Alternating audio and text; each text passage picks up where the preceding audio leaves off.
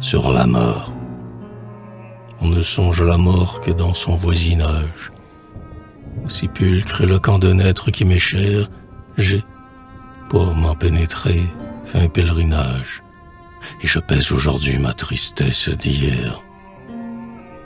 Je veux, au mon retour de cette sombre place, où semblait m'envahir la funèbre torpeur, je veux me recueillir et contempler en face la mort, grande mort, sans défi, mais sans peur. Assiste ma pensée, austère poésie, qui sacre de beauté ce qu'on a bien senti. Ta sévère caresse aux pleurs vrai ceci. Et tu sais que mon cœur ne t'a jamais menti. Si ton charme n'est point misérable l'heure, ton art un jeu servile, un vaincu de cent fois, ne m'abandonne pas précisément à l'heure pour ne pas sombrer, j'ai tant besoin de toi. Devant l'atroce énigme où la raison succombe, si la mienne fléchit, tu la relèveras.